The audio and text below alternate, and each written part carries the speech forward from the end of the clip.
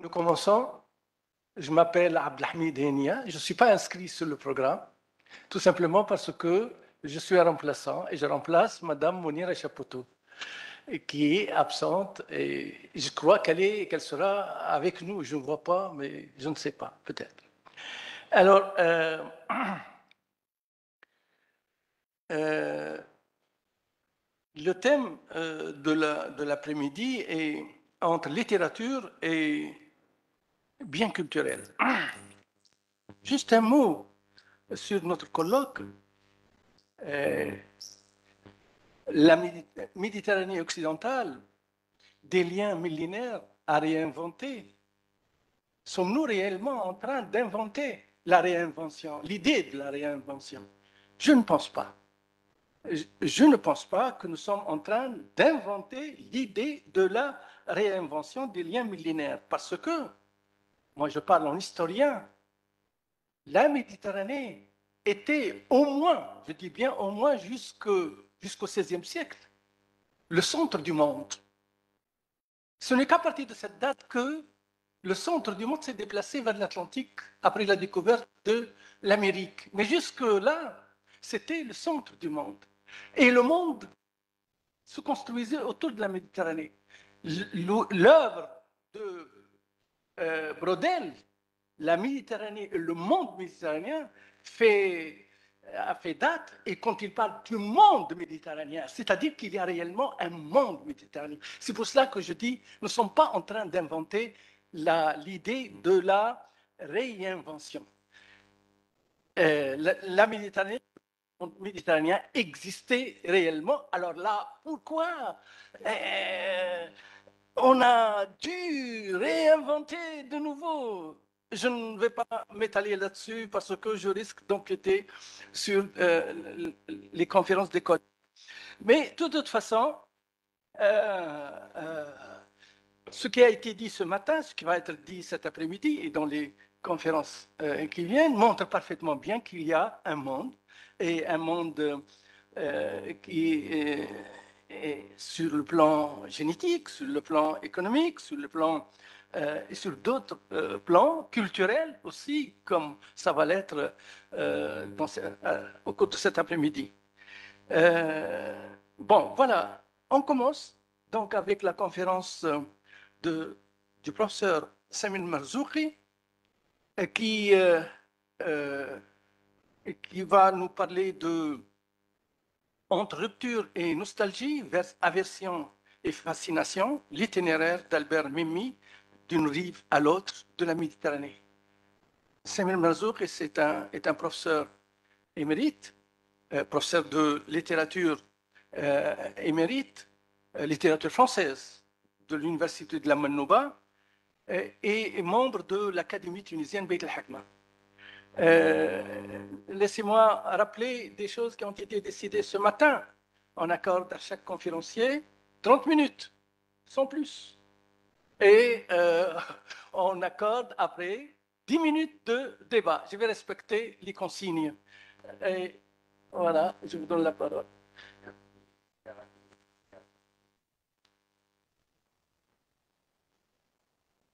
Merci. L'ensemble de l'œuvre d'Albert Memmi, les romans et la poésie, comme les essais, témoignent euh, d'une ambivalence fondamentale. Vous arrivez à m'entendre. Sa critique du pays natal, donc de la Tunisie, qui n'y épargne aucune communauté, y compris la sienne propre, et son réquisitoire acerbe contre son pays d'adoption, la France, voisine et cohabite avec une immense tendresse et un amour profond éprouvé pour la Tunisie et une grande admiration et une énorme estime pour la France. Je tenterai d'analyser cette ambivalence aussi euh, douloureuse que féconde. Bien sûr, on ne peut analyser en 30 minutes toute l'œuvre d'Albert Memmi en raison de son abondance. Il a été romancier, poète, essayiste, nouvelliste, chroniqueur. j'ai longtemps travaillé sur son œuvre et j'ai beaucoup publié donc, avec euh, Rafif mon épouse, sur l'ensemble de cette œuvre. Aujourd'hui, je me contenterai de quelques exemples parlants. Je commencerai par sa perception de la Tunisie. Cette perception a été diversement commentée en raison de, de sa complexité et de l'image très contrastée, voire contradictoire, que présente le pays natal dans son œuvre. Dans l'entretien qu'il a accordé à Victor Malka et qui a été publié en 1976 sous le titre La Terre intérieure, il affirme qu'il est un écrivain tunisien et s'en explique. Mon terreau est là, écrit-il, et se retrouve pratiquement dans tous mes livres, et d'une manière quelquefois plus subtile encore. J'ai noté quelque part que lorsque je fais allusion au soleil, malgré moi, je suggère une force dangereuse qui donne migraine et méningite, et non ces rayons totalement agréables dont les Occidentaux sont si friands. L'usage même du substantif les Occidentaux dans cette phrase nous semble révélateur d'une conscience non occidentale. Je vais donner, en travaillant sur deux œuvres seulement, quelques exemples de cette perception de la Tunisie en mettant en évidence le caractère contrasté, justement paradoxal, ambivalent et presque contradictoire d'une vision révélatrice d'un conflit non résolu, d'un mécompte, signalant une relation personnelle caractérisée d'abord par sa complexité. J'évoquerai pour commencer son roman le plus connu, La statue de sel. Dans La statue de sel, premier roman de Mémy, roman dont le personnage principal est un révolté, un écorché vif, celui-ci finit par quitter le pays natal. Non pas pour la France, comme le fera Albert Mémy quelques années plus tard, mais pour l'Argentine. Cette dernière séparation consomme une série d'autres ruptures avec le cocon familial et la communauté d'origine, la communauté juive tunisienne, avec l'Occident et ses fausses valeurs, avec l'idéalisme militant transcendant les conflits, Tunis apparaît dans cette œuvre comme une ville déchirée en groupes haineux, je le cite, où n'importe qui se sent chez soi et personne à l'aise. Alexandre Benilouche, donc le personnage principal, il dit clairement avoir rompu avec la ville, avec Tunis, parce qu'elle vit au Moyen Âge oriental, et ajoute-t-il, parce qu'elle ne m'aime pas. Il est, explique-t-il, tunisien, mais juif, c'est-à-dire politiquement, socialement exclu, parlant la langue du pays avec un accent particulier, mal accordé passionnellement à ce qui émeut les musulmans. Certes, cette première œuvre ne manque pas non plus de valoriser la douceur du monde de l'impasse de l'enfance, avec ses odeurs euphorisantes, celles du café mort et des narcisses de la fiancée Saba. Mais ce lieu de sécurité et de sérénité est perçu par le jeune homme révolté comme une illusion révolue. L'impasse n'a jamais existé, affirme ce dernier. Elle ne fut que le calme de mon cœur avant qu'il ne comprenne. Le roman fourmille au contraire d'indices dévoilant la peur qu'éprouvent les unes des autres les communautés en présence dans la ville, peur qui frôle la haine souvent et l'atteint parfois. Emmurement réciproque, je le cite, imperméabilité parfaite, sont les expressions par lesquelles le narrateur caractérise les rapports de ces communautés. Ainsi, on dépend de ces élans de solidarité idéalistes envers ses concitoyens musulmans, qui lui font partager un temps le rêve politique d'une union dépassant les clivages communautaires, celui qu'il réalisera pour quelque temps avec son camarade Smain, rêvant que la communion réalisée à dix personnes, écrit-il, préfigurerait la communion de la vie. Ou que vivra plus tard en euh, s'engageant auprès des rédacteurs d'historiens du journal nationaliste L'Action, comme le fit l'auteur, Armand Gosselin, le protagoniste principal du Pharaon, du troisième roman de, euh, du quatrième roman de, de ou même du cinquième roman, excusez-moi.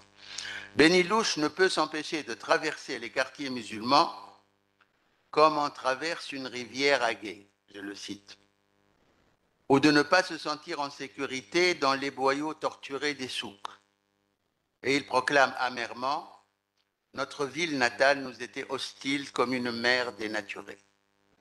Il évoque ainsi les terreurs du ghetto, ces siècles de peur qui avaient entouré ses habitants de murs épais, tout en modérant la hargne de son ami Bissor, qui perçoit les musulmans comme une foule aveugle et fanatique parce que son père est mort de chagrin après l'incendie de son magasin. Discutant avec son père, à qui il reproche son manque manifeste d'amour pour les musulmans, et qui se révolte devant ce reproche en s'écriant Pourquoi aimerais-je des gens qui me détestent?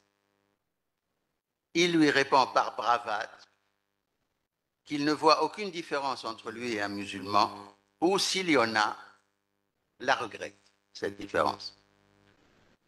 Mais au fond de lui-même, il comprend la peur souvent irraisonnée qui fait que son géniteur rentre chez lui chaque fois que la ville est agitée pour faire des provisions et barricader portes et fenêtres. Manifestement, si l'attitude de Benilouche à l'égard de son pays natal est bien ambivalente, elle s'inscrit plus dans le cadre d'une rupture prévisible et presque annoncée. Il est irréductiblement étranger dans sa ville natale, même si, mu par son sens de la justice et son besoin d'amour, il oblige par la ferveur de son salut, que Dieu vous aide à la haine, des manœuvres musulmans, même s'il les oblige à le bénir en retour. Ou si le pauvre qu'il est donne deux sous à un mendiant bédouin, ou encore s'il témoigne dans une querelle entre ménagères en faveur de la musulmane, comme il l'écrit, car tous ces élans de solidarité dévoile son lyrisme d'idéaliste qui ne manque pas de souligner, euh, que ne manque pas, pardon, de souligner l'autodérision qui les accompagne dans le récit. La relative absence de la communauté musulmane dans ce premier roman, ou sa présence en tant que menace sourde mais permanente, correspond à une perception subjective marquée par la méfiance, sinon par la peur. Dans ce même roman, la perception de la France est elle aussi ambivalente. La découverte de la littérature et de la philosophie française grâce aux enseignants et à la lecture crée une réelle fascination pour la civilisation française et les idéaux français, incarnés en particulier par la philosophie des Lumières. Mais les lois scélérates de Vichy viennent détruire les illusions du jeune juif et le jeter dans le doute, voire dans le déni. Agar, le second roman de Mémie, est moins traversé par cette tension politique, car centré sur le personnage de l'étrangère, l'épouse du couple mixte, qui ne comprend pas le pays natal et n'adhère pas à ses spécificités qu'elle juge arriérées, cantonnant son mari dans une attitude d'autodéfense, de plaidoyer permanent pour le pays natal, parce que le pays natal est incarné dans l'intrigue par les siens, par sa famille, qui, au-delà de la différence de religion, partage avec la communauté musulmane à peu près tout le reste. C'est pourquoi ce roman est un peu différent des autres dans la mesure où il atténue le conflit avec la Tunisie et met plutôt l'accent sur l'attachement à ce pays. Mais l'ambivalence qui caractérise les autres œuvres n'en est pas absente, loin de là, dans la mesure où l'objectivité du narrateur et son attachement à son épouse l'amène également à lui donner raison dans son fort intérieur, d'autant que le regard objectif de l'étrangère est dénué de bienveillance, de la bienveillance et de magnanimité que l'appartenance du narrateur au pays, critiqué par sa femme, confère à ses propres sentiments à l'égard de ce pays. Je ne parlerai pas du scorpion, mais je voudrais juste citer une phrase du scorpion. Dans le scorpion, il y a deux frères qui sont les deux héros, en quelque sorte, du livre. L'un est parti et l'autre est resté. Euh, voilà ce qu'écrit celui des frères qui est resté à propos de celui qui est parti. Apparemment, dit-il, il est comme moi, viscéralement attaché à ce pays. Il ne peut pas vivre longtemps ailleurs. Or, il ne manque jamais de le brocarder, de l'agresser à la limite de la méchanceté. Cette ambivalence a pour nom le dépit amoureux, que le dicton populaire tunisien rend par la formule paradoxale que nous traduirions ainsi pour en faire ressortir la saveur, quitte à gauchir un peu la langue française. Ni je t'aime, ni je ne supporte ton absence. Dans le scorpion, il y a la même ambivalence, je n'en parlerai pas, dans le désert non plus. J'en arrive au mirliton du ciel. Le mirliton du ciel, recueil poétique tout entier fondé sur la nostalgie de l'enfance et du pays natal, célébrant dans la joie et la bonne humeur avec une pointe d'ironie attendrie les plaisirs simples, les sensations et les communions d'autrefois. Euh, le mirliton du ciel donne une idée de ce bonheur et constitue une exception, une sorte de récréation dans l'incessante expression de l'ambivalence qui est au cœur de toutes les autres œuvres de même. Il est rejoint dans cette veine par la série des bonheurs, ouvrage issu des billets du journal Le Monde, manifestement né de l'acquisition d'une sagesse tardive, fondée sur un besoin de réconcilier les contraires et d'effacer les aspérités et les oppositions. J'aurais aimé parler du pharaon qui est remarquable, je ne pourrais pas non plus, mais je vais en dire quelques mots simplement. Je vais juste citer la fin le livre où le personnage principal, Armand Gosselin, décide d'aller en France, décide de vivre en France désormais. Et euh, voilà ce que le narrateur dit de lui.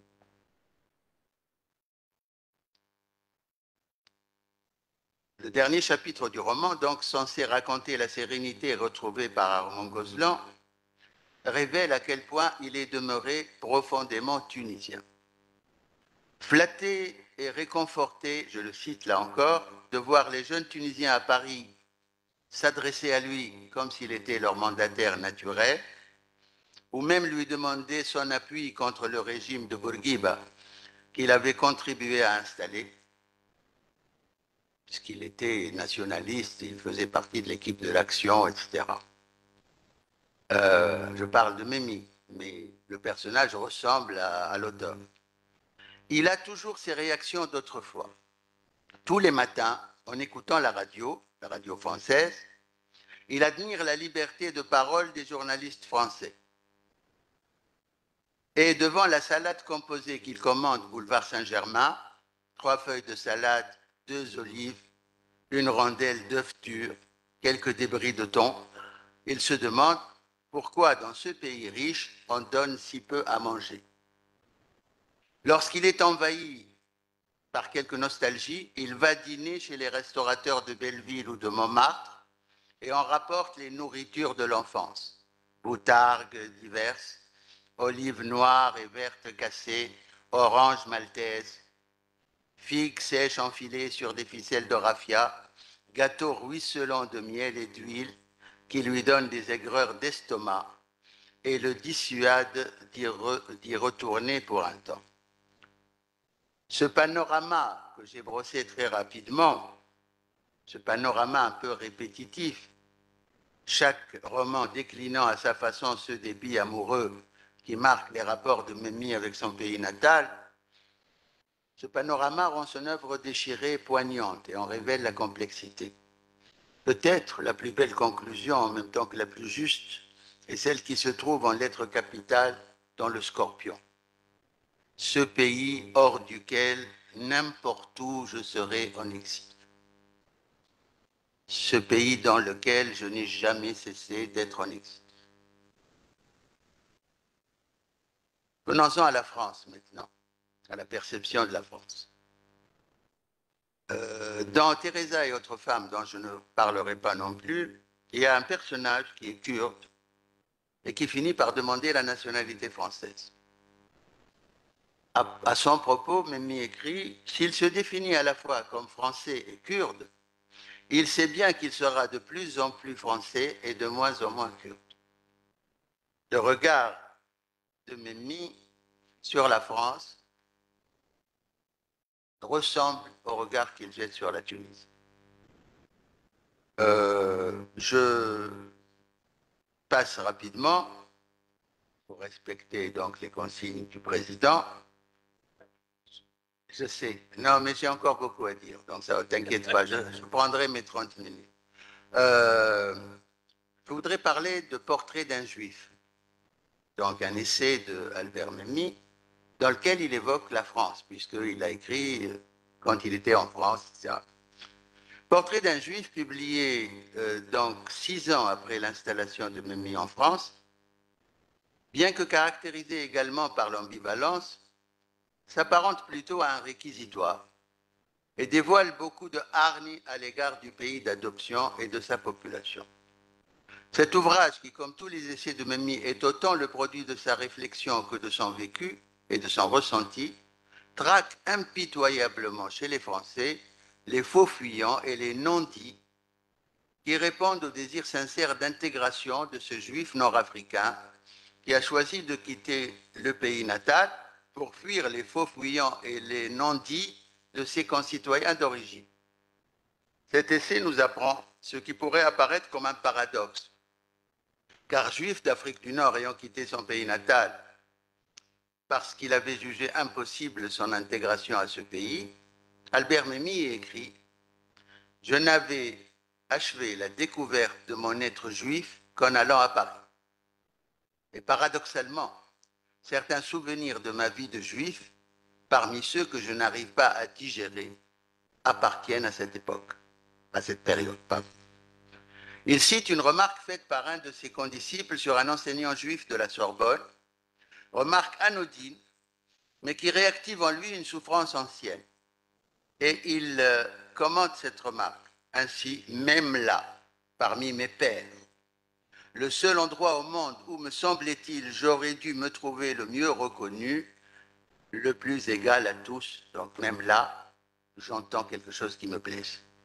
Ailleurs, dans une phrase terrible, il affirme la non-fiabilité des discours de ses interlocuteurs, car il y soupçonne un double langage, l'un utilisé en sa présence et l'autre en son absence.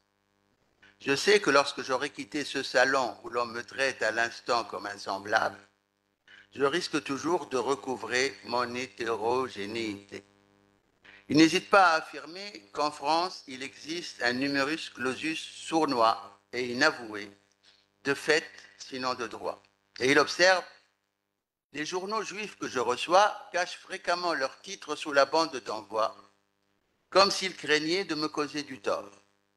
Échaudé par l'histoire et ses horreurs, il consigne dans ce livre son effroi devant des incidents que l'on a tendance à juger banals, mais dont il craint qu'ils ne soient révélateurs d'une haine tenace qui peut un jour se transformer en violence ou en absence de réaction devant la violence. Il note que sous les apparences d'une laïcité donnée en exemple, la France reste, c'est ce qu'il écrit, malgré les changements considérables, un pays catholique, comme l'Amérique est un pays protestant. Et on veut pour preuve la demande faite par le général de Gaulle prenant le pouvoir au pape, la demande faite au pape, de bénir la France et les Français, se demandant si le juif fait partie de cette France-là, et si en réalité les chefs de l'État ne font pas comme si le juif n'existait pas. Il se défend d'avoir une telle attitude de méfiance et de prudence en raison de son histoire personnelle et de ses antécédents en terre musulmane, ajoutant Je l'ai cru moi-même jusqu'à mon premier voyage en Europe.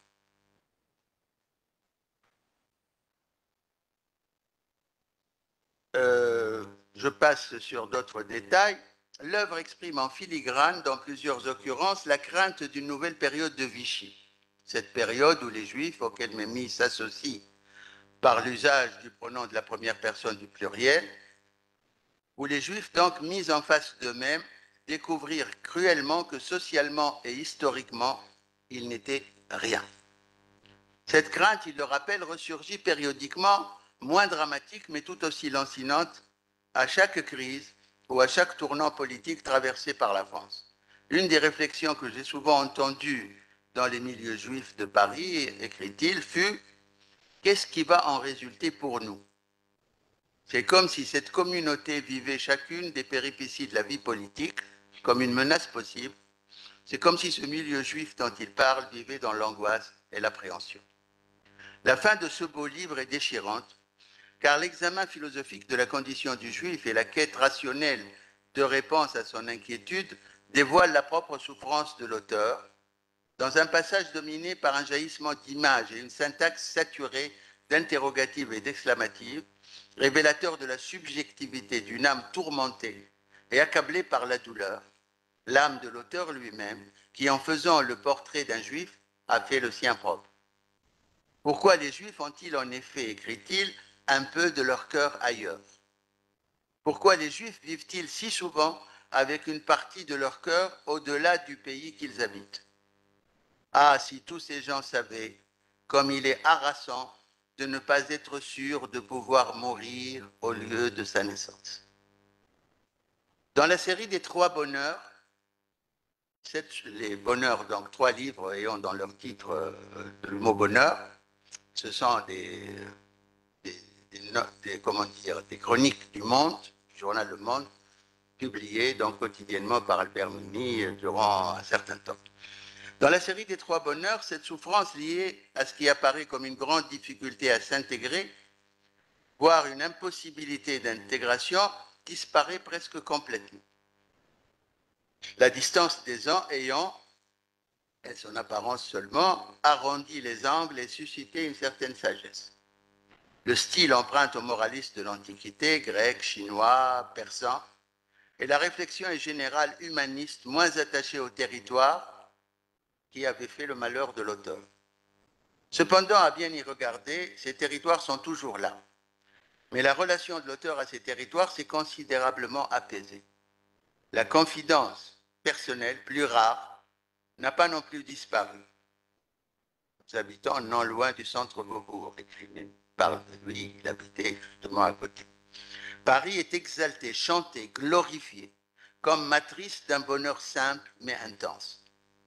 L'Ali Baba de cette ville inépuisable, entendant dont les trésors sont inépuisables, comme ceux de la caverne d'Ali Baba, l'Ali Baba de cette ville inépuisable, donc lui, célèbre la fête du crépuscule, le quartier latin, et le spectacle des amoureux dans cette ville qui lui procure mille vies, diverses comme ses cafés.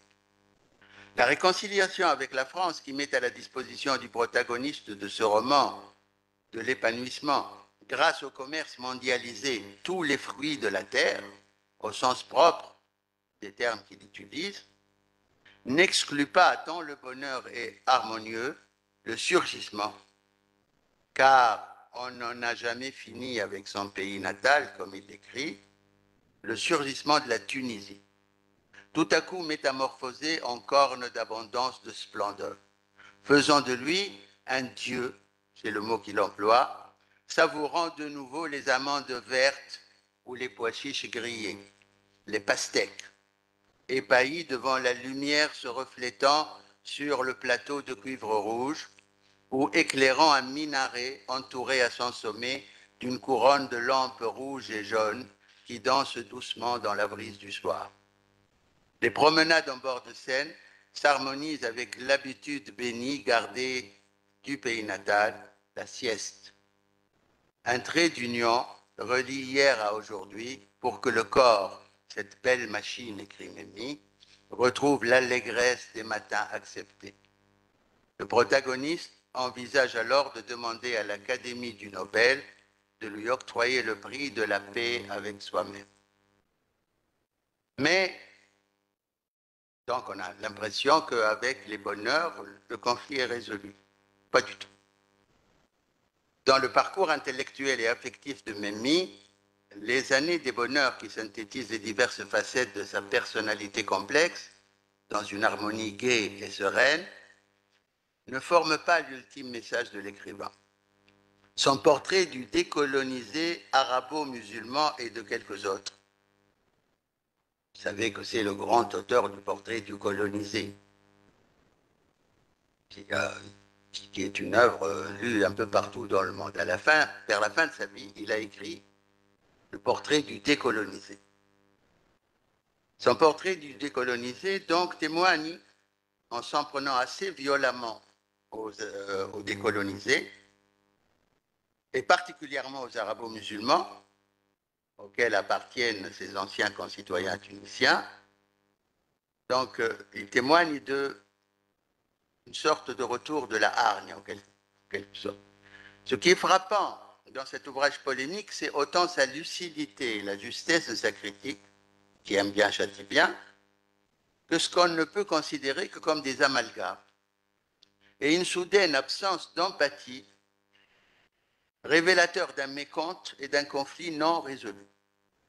Je ne donnerai que quelques exemples euh, donc de ce portrait du décolonisé en adoptant euh, où, où semble changer d'optique par rapport à son portrait du colonisé, en adoptant cette fois un regard extérieur, en se donc départant de toute identification avec le modèle étudié, c'est-à-dire en le regardant comme le regarderait un occidental.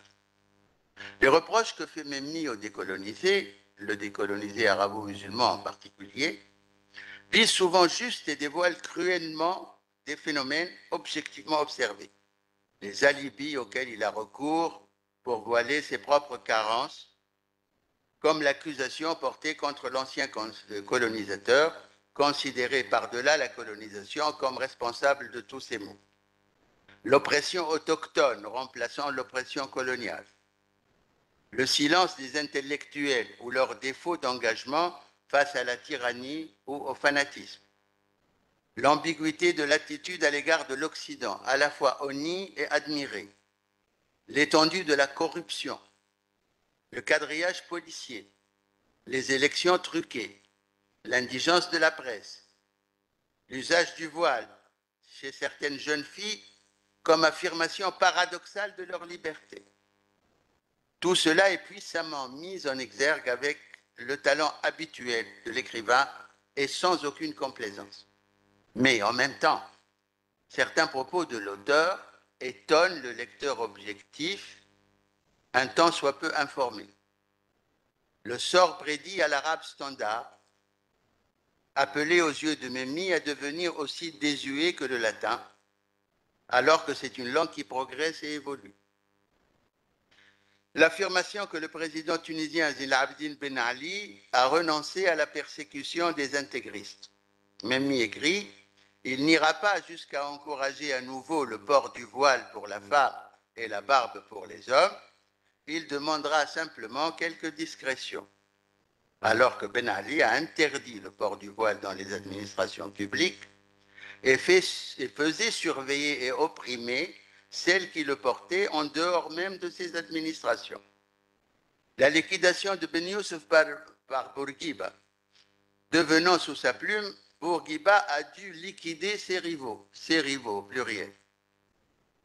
L'amalgame sous l'expression la nation arabe des Maghrébins, des Syriens et des Iraniens. L'évocation des flagellants iraniens comme faisant partie des foules arabes.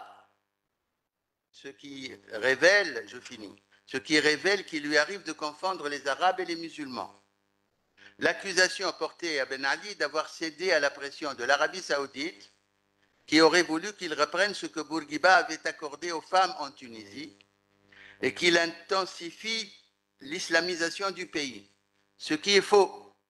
Ben Ali ayant sur ce chapitre poursuivi l'œuvre bourguibienne. L'évocation des avancées scientifiques des Arabes au Moyen Âge comme un mythe, L'affirmation que la Tunisie prête volontiers ses ports pour l'embarquement clandestin des émigrés cherchant à rejoindre l'Europe.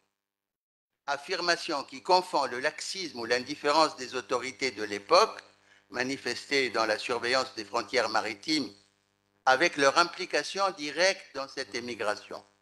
Ce type d'embarquement n'ayant du reste jamais lieu dans les ports. Clandestins ne s'embarque pas dans les ports. Euh, la confusion entre la Kaaba et la pierre noire de la Mecque. L'affirmation que les beys ont eu des esclaves et des eunuques jusqu'à l'abolition de la monarchie par Bourguiba, ce qui est totalement faux. À cela s'ajoutent les accusations portées contre les émigrés résidant en France, qui étonnamment, chez cet écrivain scrupuleux et nuancé, chez cet écrivain humaniste et plein de compassion, s'apparentent en partie aux discours radicaux de l'extrême droite.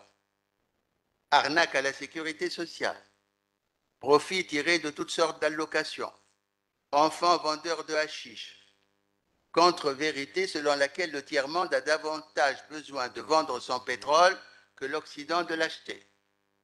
Manifestement, dans cet ouvrage tardif, l'analyste du racisme et de la dépendance n'est plus, au moins provisoirement, tout à fait le même, et ce qui est certain, c'est que son angle de vue a changé. J'évoquerai pour finir la terre intérieure, titre de l'entretien donc euh, accordé par Mémi à Victor Malka, car il me semble offrir la synthèse la plus aboutie relativement à la valse hésitation de Mémi dans sa euh, perception de la France, comme du reste dans sa conception de la Tunisie. Dans sa perception de la Tunisie.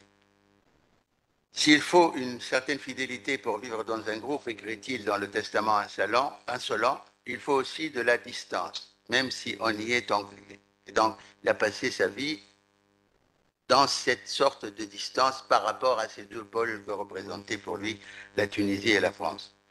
Euh, je citerai pour finir juste un mot qui montre la prégnance de la Tunisie dans son univers.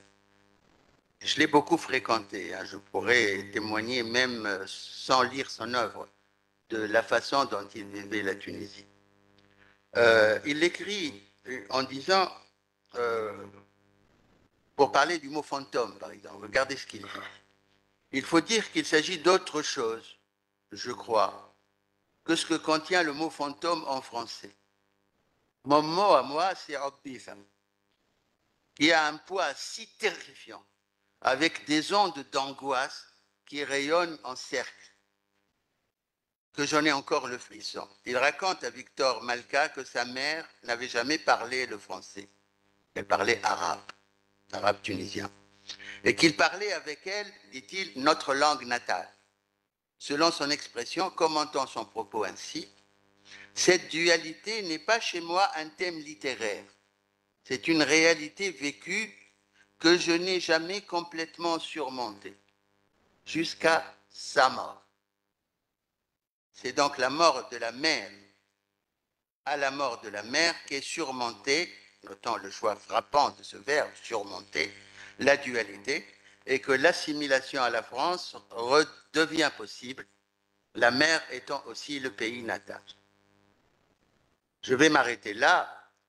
Je, je, dirais que de façon euh, donc euh, générale, euh, cette, ambivalence fait le sel de l'écriture de Mémi, c'est une âme tourmentée. Hein. Et, c'est quelqu'un qui a toujours vécu entre, les deux rives. Donc, une fois ici, une fois là-bas. Et en même temps, il a vécu cela dans une sorte de, douleur et d'euphorie en. Euh, je pourrais en dire beaucoup plus, mais je vais m'arrêter là. Merci.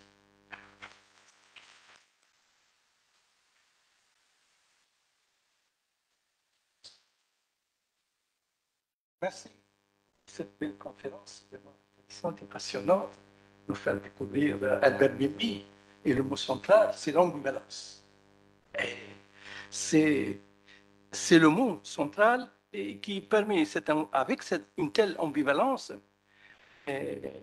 vécue par Albert Memmi d'une manière douloureuse parfois, et même parfois euh, avec euh, polémique. Euh, c'est elle qui assure à mon avis, cette transition entre les deux rives. Et que s'il y a une communication entre les deux rives et ce colloque, euh, on ait une euh, concrétisation, une preuve, parce qu'il y a une telle ambivalence. C'est bien d'assurer euh, cette transition, même si c'est un peu douloureux et, vécu d'une manière un peu polémique. Alors, le débat, oui, s'il vous plaît, dites le nom. À chaque fois, quand quelqu'un intervient, il dit son nom. Claude Césari, grand admirateur d'Al- d'Albert Memmi. Euh, Memmi avait manifestement une aura internationale, c'était indiscutable, particulièrement dans le monde arabe, Enfin, du moins une certaine partie du monde arabe. Et j'ai l'impression que son roman, que j'ai longuement lu, euh, Portrait du décolonisateur, hein, je parle bien du dernier roman, l'a assez profondément coupé de la Tunisie et plus particulièrement du monde arabe. Et c'est un souvenir que j'ai, puisque mes parents le connaissaient bien? Est-ce que je me trompe ou bien s'il y a eu une espèce de cassure dans sa relation personnelle avec précisément donc euh, ce, monde arabe Est-ce que c'est de réalité ou pas? Il a, l'a vécu du- durement. il l'a un peu cherché, mais il l'a vécu durement aussi. D'après les souvenirs que j'avais de- de- d'adolescent. Je ne dirais pas exactement ça. Moi, je l'ai beaucoup fréquenté. Euh, le portrait du décolonisé sur les dernières années. Euh, la rupture avec le monde arabe, elle s'est faite autour de la question israélienne.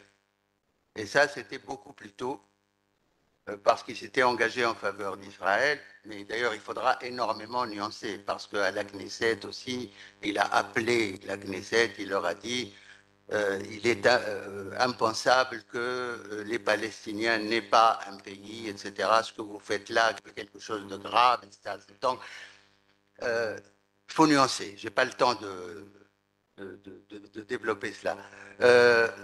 Moi, j'ai été surpris par le portrait du décolonisé, parce qu'il ne correspond pas au cheminement, en quelque sorte. On dirait qu'il y a eu un moment où euh, quelque chose est, remonté, disons, à la surface chez Memmi, talasque, comme on dit chez nous. Donc, il y a, un moment où euh, il, euh, il a réglé des comptes très anciens, mais avec beaucoup d'amalgames. C'est pas son genre, les amalgames.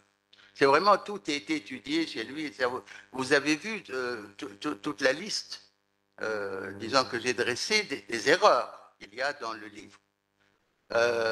J'en ai parlé avec lui parce que, comme j'ai dit, nous étions très proches. Et, tout cela, et même pire que cela, je peux vous dire encore autre chose.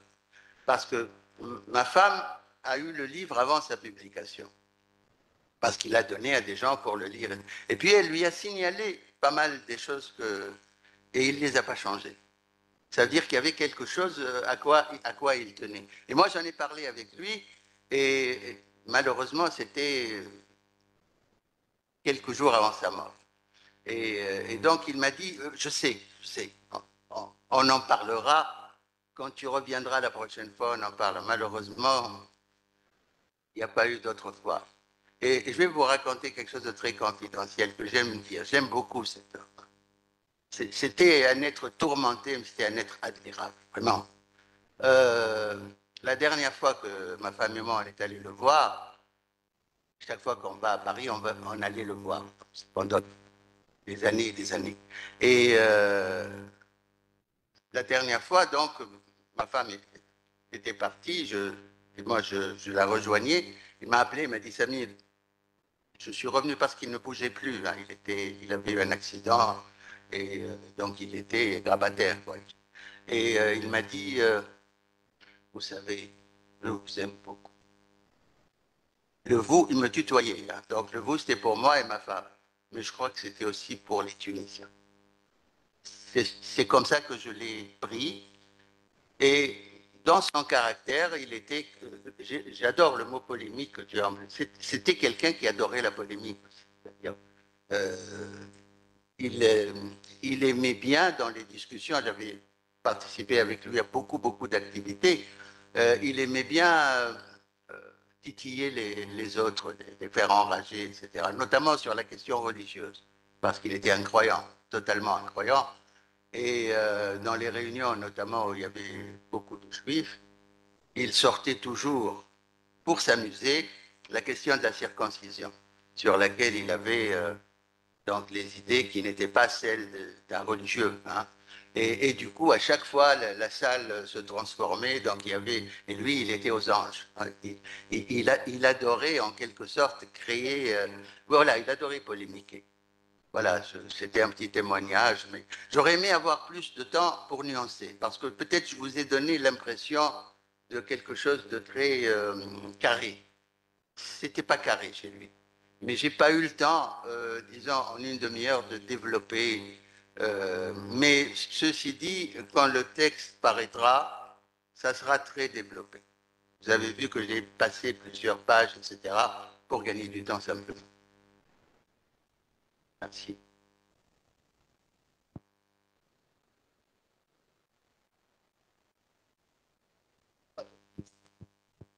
On va passer à la prochaine conférence.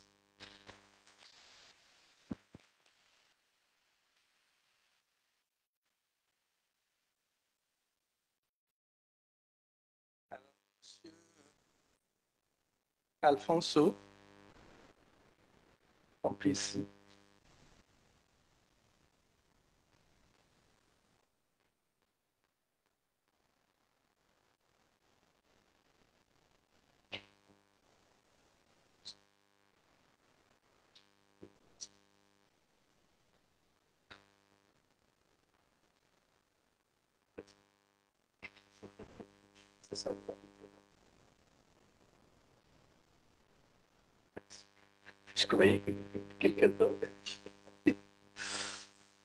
Alors, euh, euh, nous avons le plaisir maintenant d'écouter euh, le professeur Alfonso Campisi, qui est professeur des universités en philosophie romane et italienne, président de la chaire Sicile pour le dialogue de culture et civilisation à l'université de la Manouba euh, et écrivain en même temps.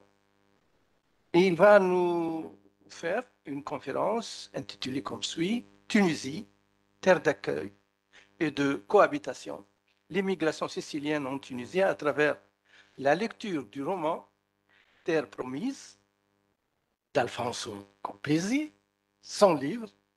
Euh, et voilà. Et je, merci, je vous donne la parole. Merci, merci beaucoup. Très bien.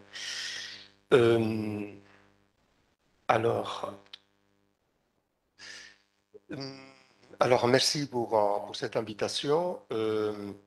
Bon, aujourd'hui, je vous parlerai de, de mon roman. Ce n'est pas non plus très évident de pouvoir le critiquer, mais, mais je vous parlerai surtout, bon, je, je commencerai à vous faire une, une petite introduction de ce qui était en fait l'émigration euh, sicilienne en Tunisie euh, à partir du début du 19e siècle. Euh, et cette émigration durera en fait depuis la Sicile vers les côtes, la Sicile occidentale notamment, vers les côtes tunisiennes jusqu'en 1943. D'ailleurs, le roman, euh, c'est un, un roman, mais en même temps, euh, il y a beaucoup de, euh, de connotations historiques et, dont je vous en parlais donc après. Donc cette émigration, c'est un peu, en fait, c'est l'histoire d'une émigration que beaucoup de, de gens voient aujourd'hui comme une émigration un peu bizarre, entre guillemets, parce que c'est une émigration qui, euh, qui part du nord de la Méditerranée vers le sud de la Méditerranée, alors qu'aujourd'hui nous sommes habitués à voir une émigration euh, qui de l'autre sens, donc du sud vers le nord. Et à chacun son tour, voilà. Et on ne sait jamais s'il y aura encore un autre, donc, euh, une autre émigration du nord vers le sud. Et hum, donc, c'est une émigration très importante pour la Tunisie parce que je parle, en fait, le livre rentre dans un contexte de recherche euh, sur, sur la mémoire des Siciliens de Tunisie.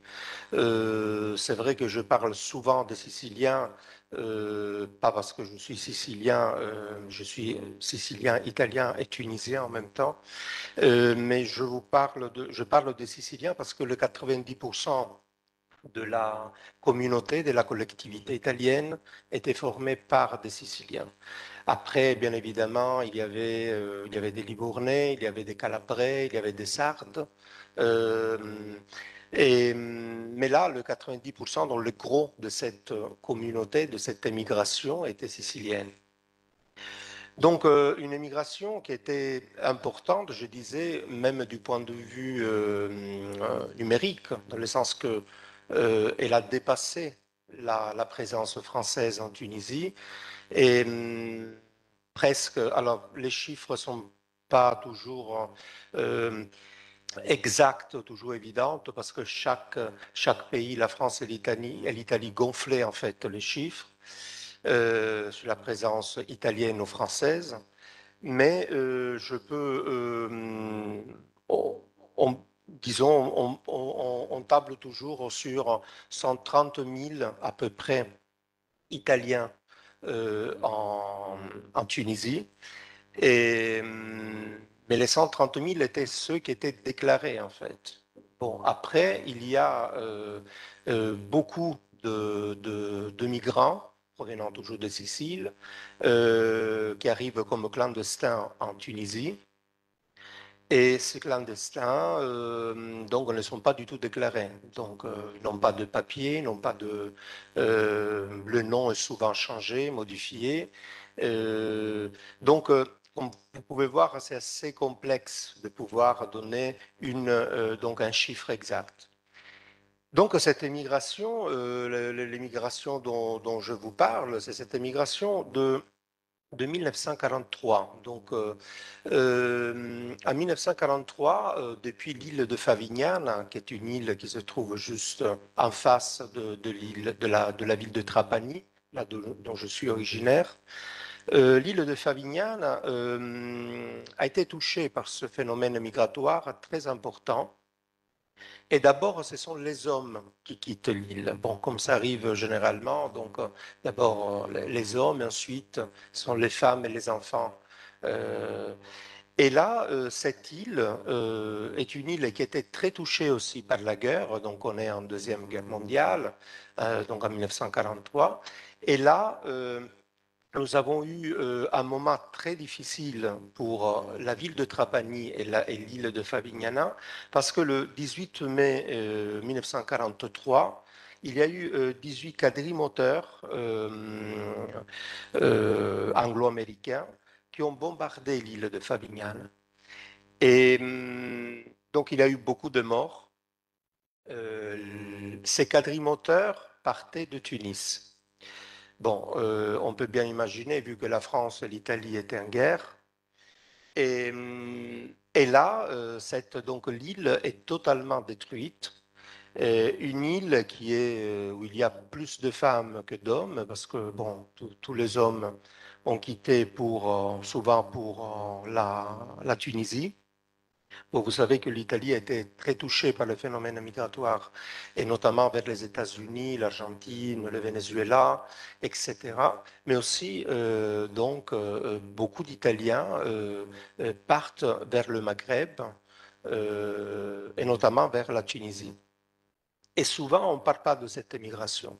On dit toujours les Italiens, voilà, sont partis, sont tous, enfin, partis aux États-Unis. Euh, et, souvent, on, néglige cet aspect très important qui était l'émigration euh, italienne, sicilienne, donc en Tunisie.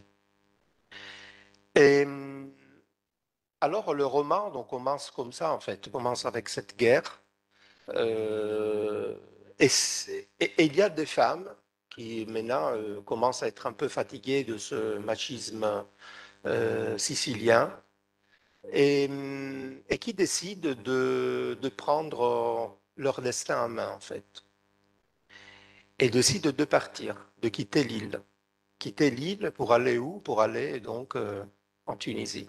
Là, ce une vraie histoire. Ça veut dire que je trouvais dans les archives à Favignane où il y a eu donc 111 femmes qui ont quitté euh, en 1943 euh, l'île. 111 femmes, ça peut sembler un chiffre dérisoire, mais quand on sait que bon, la, Favignane était toute petite et donc euh, euh, comptait très très très peu de, gens en fait, d'habitants. On pensait aussi aux morts euh, dus à la guerre, pensait aussi à l'émigration.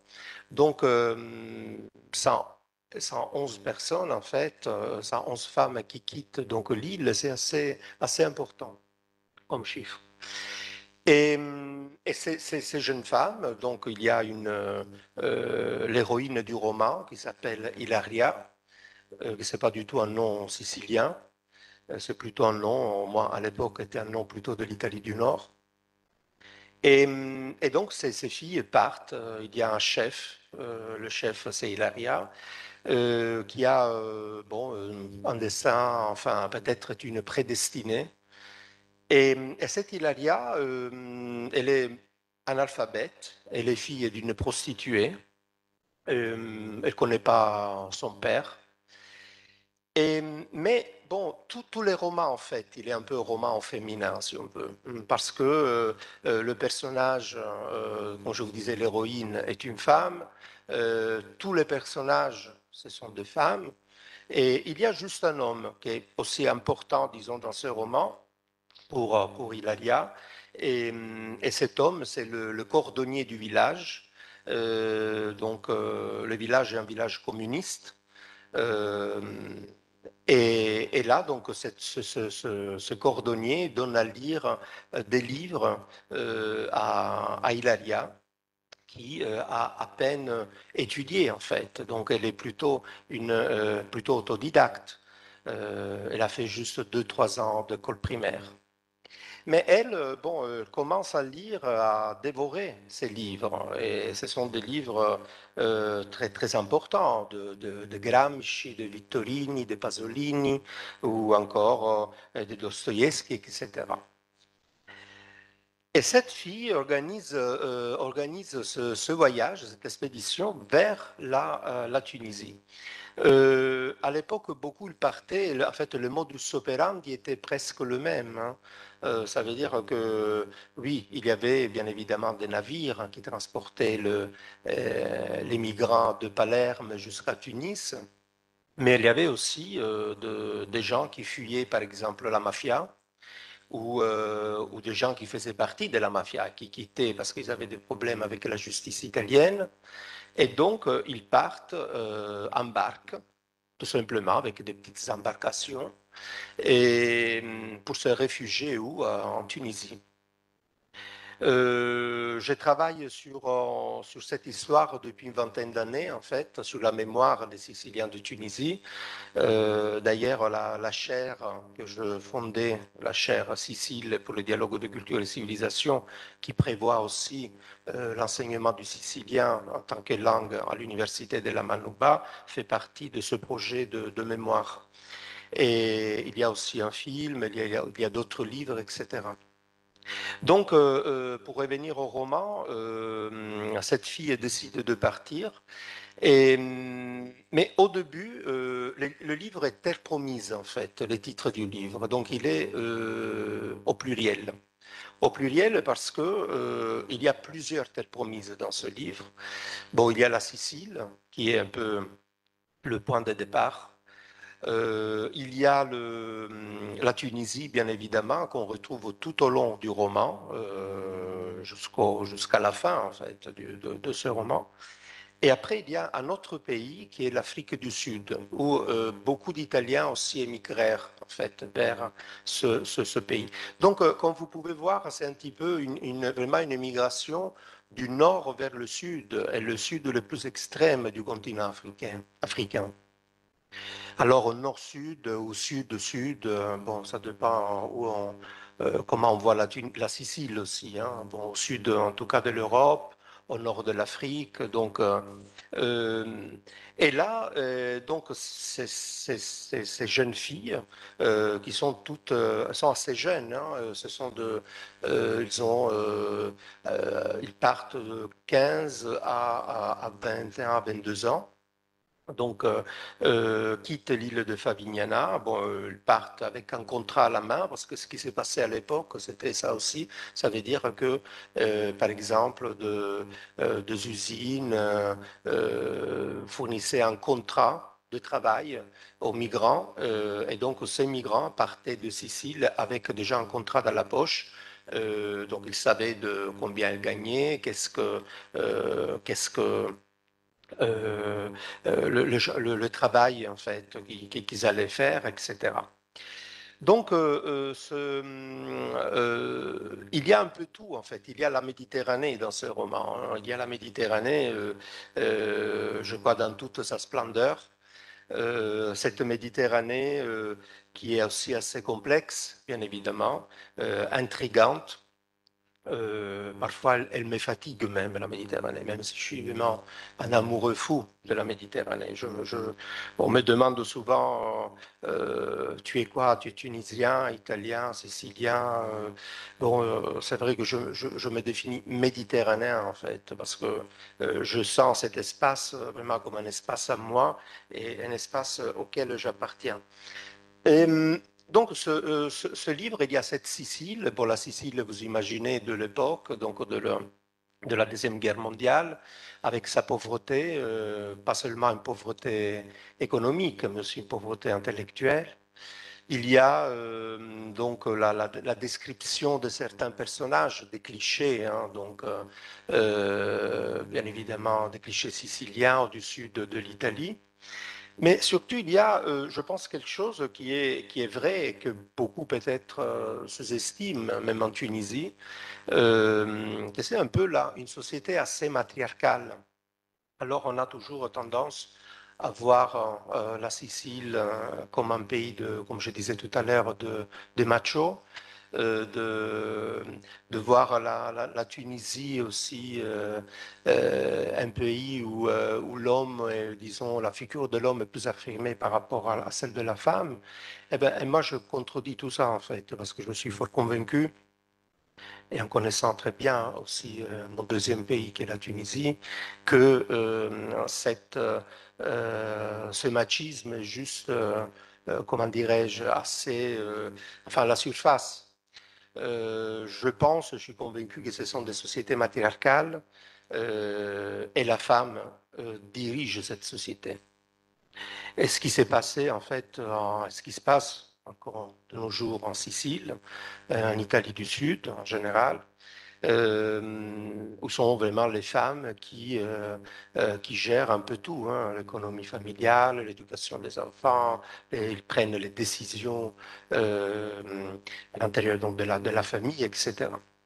Donc, euh, euh, c'est un roman déjà pour le migrant, donc dédié à tous les migrants en général, pas seulement aux migrants siciliens euh, qui partaient euh, pour la Tunisie, mais aussi euh, est dédié surtout à des femmes, aux femmes, à la femme tunisienne, à la femme sicilienne, parce qu'il y a beaucoup de, points en commun. Et, hum, et après aussi, c'est un roman qui veut, qui veut euh, montrer euh, et faire connaître surtout. euh, vous me dites, parce que moi j'ai perdu euh, l'heure, hein, donc euh, voilà, j'ai perdu en fait. Ah voilà, ah, c'est parfait. Donc, je vous disais en fait, c'est un roman qui est donc au féminin, mais surtout, voilà, c'est pour, pour appeler aux Italiens, pour appeler aux, Français, pour appeler aux, aux Européens que la Tunisie a accueilli euh, une, euh, une masse de, de prolétariat, en fait, de, travailleurs et travailleuses qui, ont, euh, donc, euh, qui sont arrivés donc, en Tunisie pour des raisons euh, liées essentiellement à, euh, tout ce qui était la pauvreté, et parfois la famine même. Donc, euh, euh, et ce pays a réussi aussi à les, euh, les intégrer dans, son tissu euh, social. Euh, D'ailleurs, bon, les Siciliens étaient le, c'était la communauté, la première communauté euh, chrétienne de Tunisie, suivie par la Maltaise, qui était aussi assez nombreuse.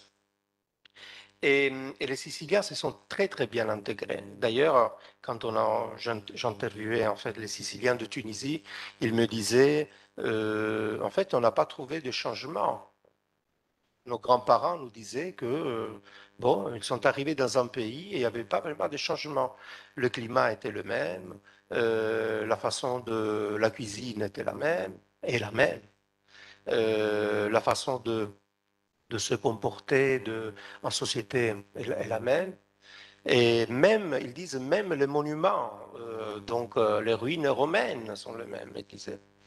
Donc vous voyez, donc euh, en fait, il n'y a pas eu cet euh, déracinement pour les Siciliens. Il n'y a plus ce, déracinement, euh, cette déchirure, comme par exemple a pu avoir un migré ou un migrant sicilien qui partait vers les États-Unis.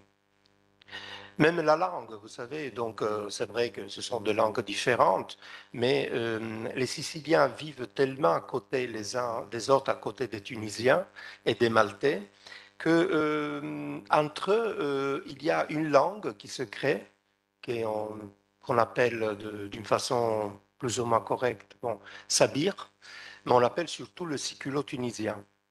Et donc, dans ce livre, il y a, bon, j'essayais de mettre un petit peu de- de- d'expression euh, en siculo-tunisien, qui est un sicilien assez, assez particulier, parce qu'en fait, c'est différent du sicilien de Sicile, parce qu'il est euh, mélangé à l'arabe tunisien, au français, au maltais. Et, et donc, il y a des expressions de, de ma grand-mère, parce que quand même, je fais partie, j'ai oublié de vous dire, de cette migration, donc arrivée ici en 1830, de, de ma famille euh, maternelle et paternelle, qui sont après partis en 45, par contre. Et donc, moi, je suis revenu, je dis revenu au pays euh, il y a 25 ans. Et, donc, je me rappelle toujours des ex- expressions euh, de ma grand-mère, et qui étaient tout à fait, qu'en fait, les Siciliens de Sicile ne comprenaient pas du tout. Euh, donc, ce sont des mots qui sont totalement, en fait, euh, euh, un peu qui, qui changent, hein, parce que ce sont euh, des mots arabes ou des mots français qui sont totalement, en fait, enfin, sicilianisés, si, si je peux dire. Et donc, ce, ce, roman, il aborde aussi le, un des problèmes, en fait, de, qui est la religion en Sicile, parce que, bon, il parle de cette société qui est totalement euh, prise euh, vraiment presque l'assaut de cette, par cette euh, religion, qui est la religion, la religion bien évidemment chrétienne, et donc tout le monde, cette fille, cette Hilaria, est très rebelle et elle n'accepte pas déjà cette, ce que, par exemple, le, prê- le prêtre lui raconte. Euh, donc, euh, je vous disais que c'est aussi un village communiste qui représente euh, un gros problème pour euh, le diocèse de, Trapani parce qu'ils savent jamais quel prêtre envoyer. Ça, c'est vrai, en fait, parce que c'était aussi écrit dans certaines lettres que je peux dénicher à Favignane. Et hum, donc il y a, un peu tout ça. Donc vous voyez, donc cette fille est une rebelle en fait. Donc a- elle en a, un peu marre de, cette société, de, euh, de la pauvreté, de, la religion. Et, c'est pour cela qu'il décide vraiment de partir et, de fermer un peu cette parenthèse sicilienne. Et hum, en Tunisie, elle trouvera, l'amour, elle trouvera son mari. Et après, donc, ils partiront euh, vers, ils partiront en, Afrique du Sud. Euh, est une fille aussi que Hilaria qui est contre toutes les injustices. Par exemple, dans le roman, elle dit mais euh, pourquoi euh, dois-je quitter mon pays? Pourquoi il y a des gens qui restent ici et moi, à cause de la misère, je dois quitter mon pays? Donc il y a beaucoup de euh, de questionnements dans ce roman sur la religion, sur la politique, sur la corruption, euh, sur la mafia, bien évidemment, euh, sur la violence faite aux femmes. Euh, donc, euh, il y a beaucoup de questionnements et, et Hilaria essaye un peu de répondre à ça. Euh, ensuite, donc, ils partent vers l'Afrique du Sud. Ce sont deux périodes différentes parce que je, je parle de l'apartheid, en fait, donc c'est la période de Nelson Mandela. Et, là aussi, elle essaye donc d'aller vers, de, combattre les injustices. euh, être du côté de, des- populations donc, noires, de, euh, lutter contre l'apartheid, etc. Donc, euh, voilà, c'est vrai qu'il y a beaucoup de, beaucoup de, thématiques qui sont abordées dans les romans. Certaines sont bien évidemment, comme je vous disais, euh, historiques. Donc, il y a des points historiques euh, comme les bombardements, les migrations, etc. etc. Euh, après, il y a beaucoup de fiction. Euh, et, voilà, donc je pense avoir fait le tour. Là, après, si vous avez des questions, euh, je peux bien évidemment vous répondre. Donc, euh, merci, merci beaucoup.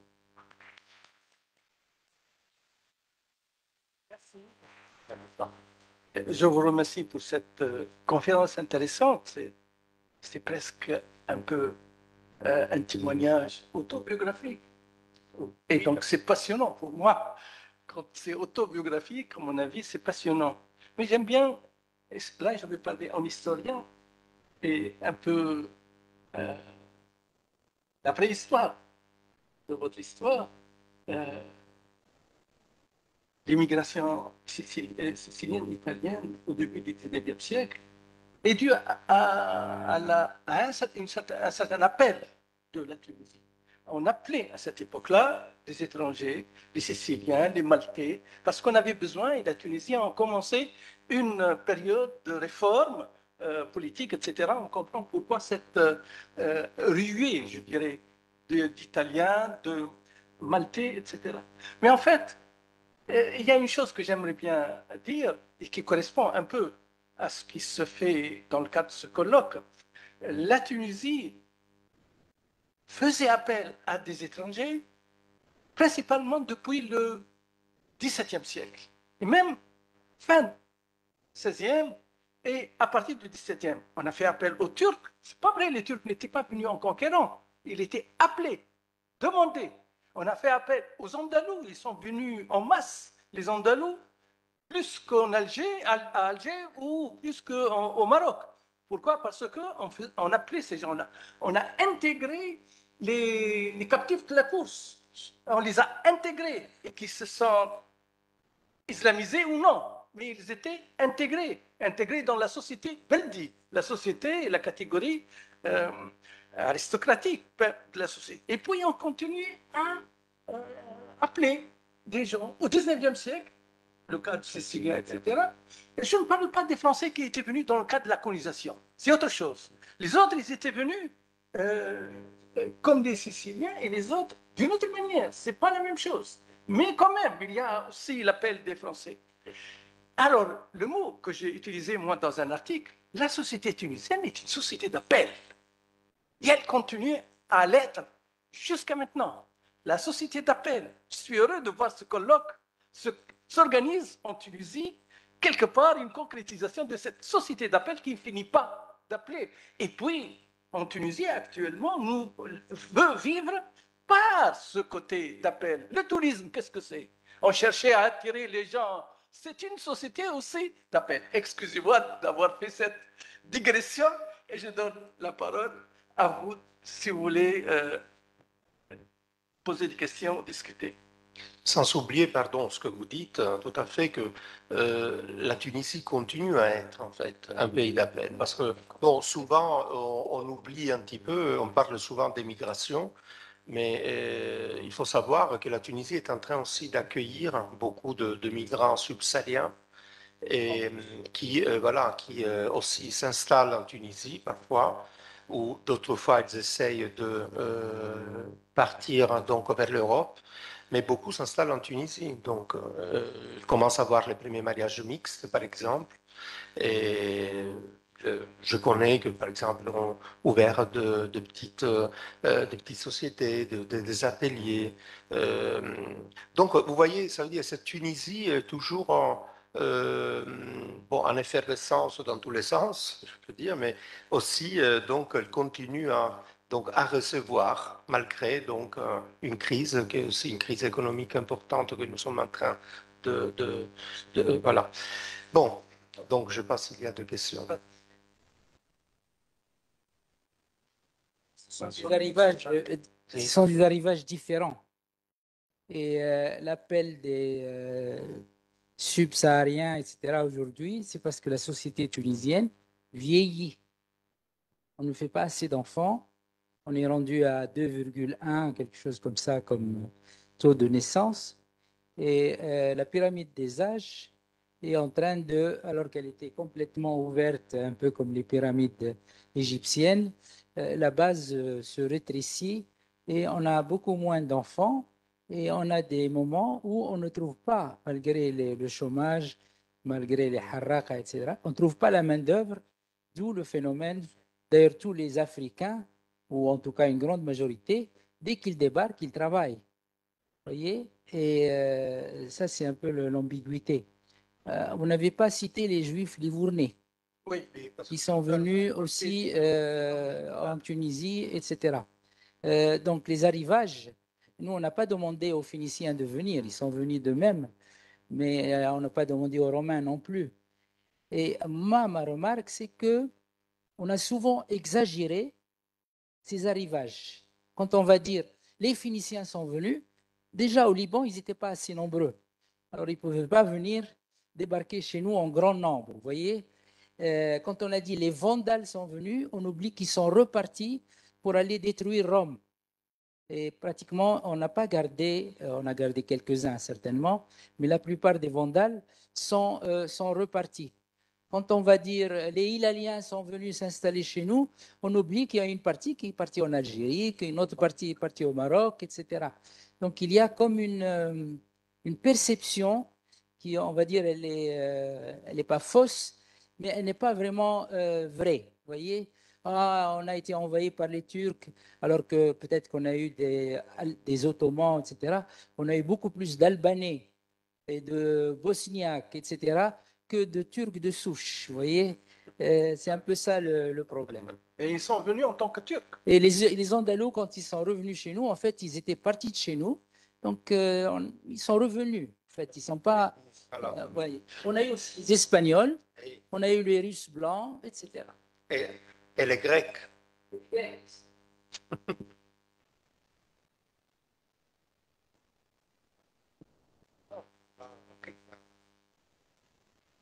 Quelqu'un d'autre?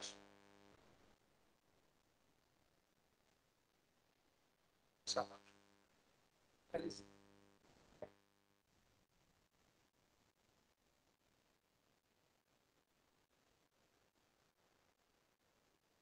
Oui, bonjour. Une- deux questions toutes simples. Quel est l'éditeur et peut-on se procurer ce roman cet après-midi? Euh, Pardon, donc quel éditeur L'éditeur du livre. Ah, d'accord. Donc, euh, c'est la maison d'édition Arabesque. Euh, c'est Monsef Shebi. Voilà. Monsef Shebi. Voilà, Shebi. Et, euh, et la maison, euh, la maison d'édition euh, Arabesque, qui est en train d'ailleurs de, euh, de s'ouvrir un peu à cette. euh, à ce genre de roman, voilà, sous la, sous la mémoire sicilienne de Tunisie. Une autre question? Oui. Euh, Allez-y. Donc, euh, moi, j'écris en français. Donc, je garde mon accent italien, et, mais j'écris souvent en français, en fait. Donc, les livres est écrit en français, et là, euh, au mois de février, il y aura la traduction italienne, euh, arabe aussi, euh, et anglaise. Voilà, donc, euh, pour Voilà. répondre. Alors, s'il n'y a Je pas... voudrais, tout- je voudrais vous- d'abord vous remercier pour ce- cette analyse très variée entre ce qui est des déplacements de population liés à des contextes économiques et ce qui sont des démarches militaires. C'est, il est temps d'avoir un peu de culture et de recul sur les mots qu'on emploie. Et je voulais vous poser une question, c'est de savoir pourquoi vous, en tant qu'homme, vous avez choisi une, Une femme un modèle femme pour présenter cette démarche. Oui, euh, Merci. vous n'êtes pas le seul à vous demander ça. Euh, donc, euh, pourquoi Euh, Je ne saurais pas vous répondre, en fait, parce que euh, Peut-être que, bon, vu que j'avais découvert cette émigration en 43 euh, féminine, enfin féminin plutôt, euh, depuis Favignana, peut-être que c'était ça en fait, vous voyez. Je pense, oui, peut-être. OK. Alors, euh, est-ce que vous- on peut passer à la... Ah, il y a une question chose? encore. Il y a une question encore. Mm. Euh, attendez le micro, s'il Le vous plaît. micro, le micro. Euh, une petite question. Euh, comment vous voyez ou comment vous expliquez l'immigration euh, des Italiens ou des Siciliens euh, vers la Tunisie dans les années 40 et l'immigration des Tunisiens de nos jours? Vers l'Italie Et l'émigration des, des Tunisiens vers l'Italie De nos jours de nos jours. Mais vous savez, bon, euh, on l'explique. euh, Mais Al-Harqa, il y a une deuxième. Euh, oui, on l'explique euh, bah, surtout, bon, ce ce sont les mêmes euh, motivations souvent, hein, donc euh, ce sont des motivations économiques. Donc, euh, donc voilà, donc euh, c'est pour ça que je vous disais, même les modus operandi est le même, euh, parce que ils partaient aussi avec des petites embarcations. Pourquoi? Parce qu'ils étaient poussés par la, par, un- par- parfois par la faim aussi, par la famine hein, dans certains villages. Donc, donc voilà, c'est un peu. En fait, l'histoire, on dit, se, se, se répète. hein, donc voilà. Sauf que la Tunisie était société d'appel, mais non, l'Europe, Oui, et n'est l'Europe pas n'est pas une société une société d'appel. Hmm. D'accord. Merci, merci beaucoup. Merci. Nous passons donc à, à autre chose. Si vous ne voyez pas d'inconvénient, nous allons écouter une poétesse, euh, Beneji, qui va nous réciter son poème intitulé Les Dévoreuses. Est-elle Allez, voilà.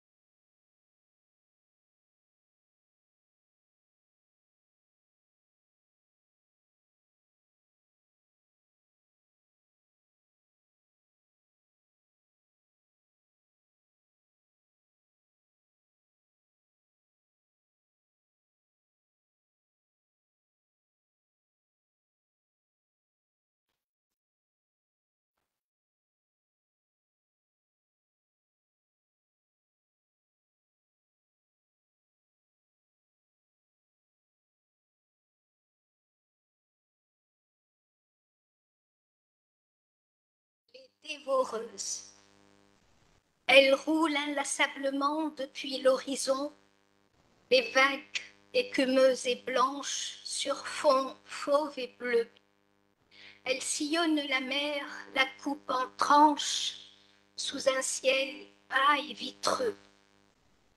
Soudain, elle s'élance et dévale ventre à terre, telles des meutes, telles ces de bisons qui ébranlent le continent dans un bruit d'enfer.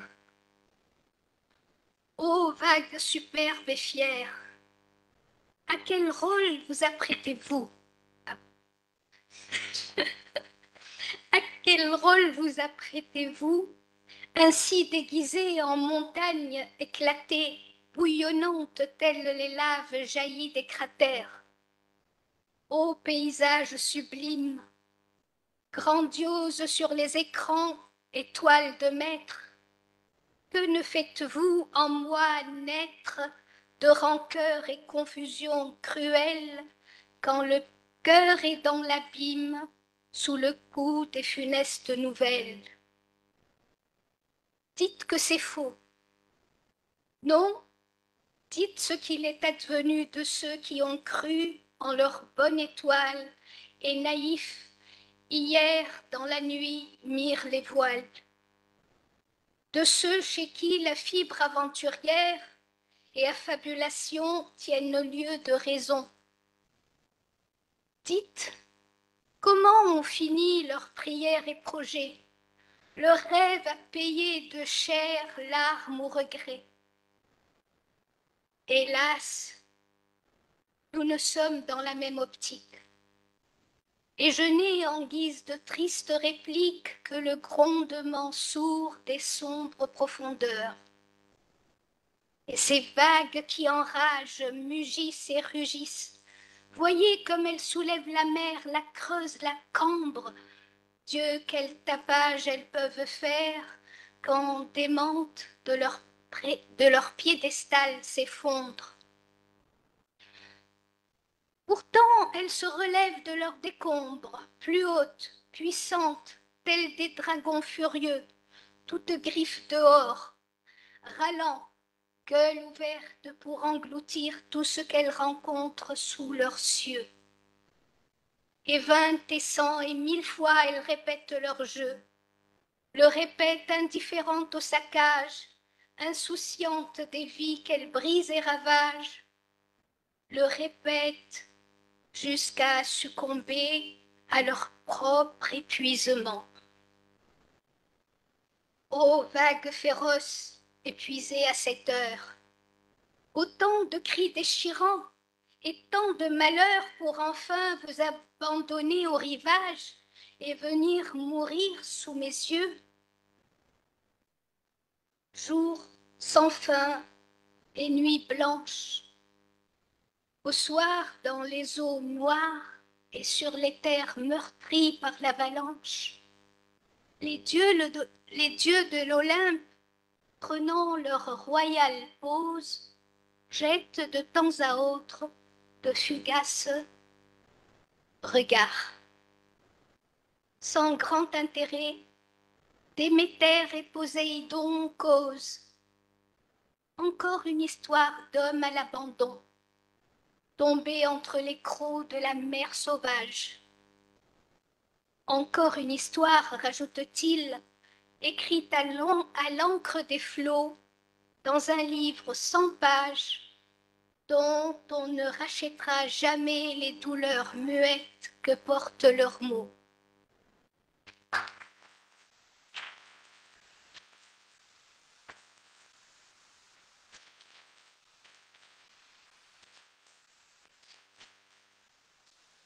Merci. Ce plaisir. Oui. Merci à vous.